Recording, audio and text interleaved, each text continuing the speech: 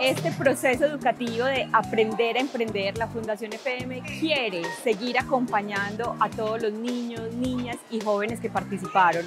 Desde la Fundación EPM estamos convencidos en que la educación es el camino para acompañar a estos jóvenes emprendedores que surgen con sus iniciativas. Lo que yo he aprendido de ese proyecto que empezamos es que no solamente es enfocarte en todo lo que vas a hacer, sino enfocarte en ti y cómo lo quieres empezar a hacer.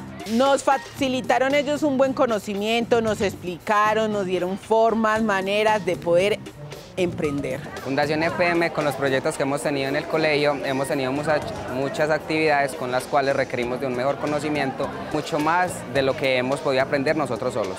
El logro más significativo que sin duda alguna yo logro identificar es un cambio de mentalidad en nuestros niños y en nuestros jóvenes. Tenemos niños y niñas que están presentando sus negocios con economía circular, con material reciclable, soñando y creyendo que pueden ser grandes emprendedores. Tenemos jóvenes con proyectos reales de impacto para su comunidad. Tenemos chicos que están soñando, que están creyendo que el emprendimiento es una manera real de cómo poder tener una vida que no solo sea buena para ellos, sino que le aporte y construya para su comunidad. A los casi 900 participantes de Aprender a Emprender, les cuento que se quedan con unas eh, satisfacciones inmensas en términos de que pudieron desarrollar iniciativas y necesidades pensadas en su territorio, en su institución educativa, en los talentos y habilidades que ellos tienen para poder aportarle a cada uno de sus territorios.